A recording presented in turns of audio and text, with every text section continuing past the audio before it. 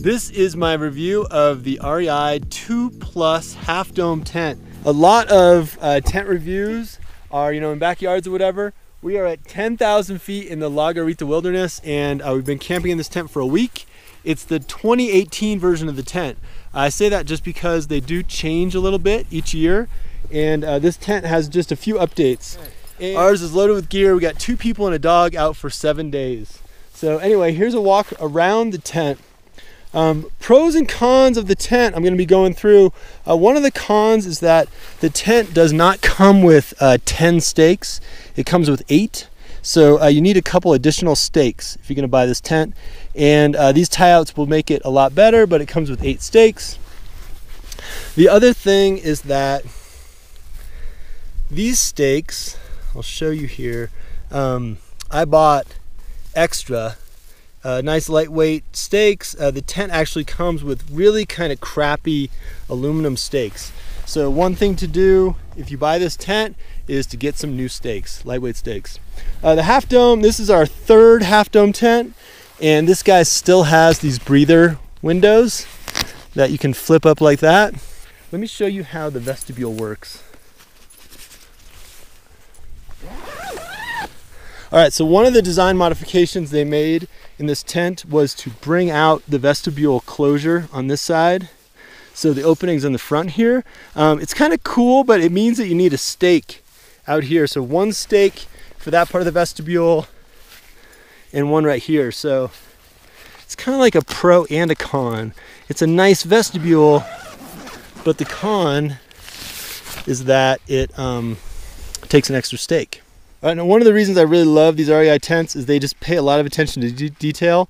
Um, I had a, a North Face tent that used like buckles for these, but these have dedicated little plastic fobs. You can roll this back to here or to this point, so that's nice. And I'm gonna open up the rain, the uh, bug fly here. And let me show you how the bug fly works. It actually stuffs into a pocket up here.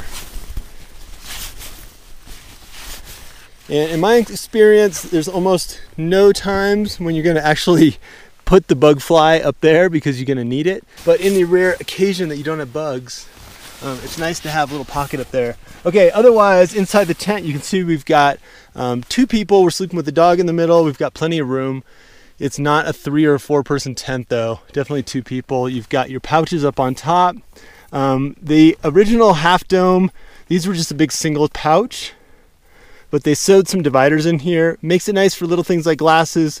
Big stuff does not fit in these pockets. You've got to put the big stuff in the side pockets, but it has ample room. So we've got four big side pockets, extra room on top.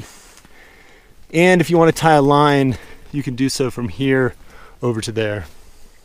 And then a couple other things I would mention. Uh, the rain fly in this tent is uh, symmetrical. So you have your door here that comes out this direction and your door that comes out this direction. That means on a really hot day, this end of the tent has nice wind flow, airflow, and this end of the tent actually backs up a little bit and gets a little bit warm. So if it was asymmetrical with the door over here, you might get more of a cross breeze. Small point, but you do notice it if you lounge out in the tent during the day. Now I'm gonna show you this. Um, this is a look at the pole system on this tent, and it looks almost identical to the old uh, half dome tents, REI half dome tents, but this is a single pole system.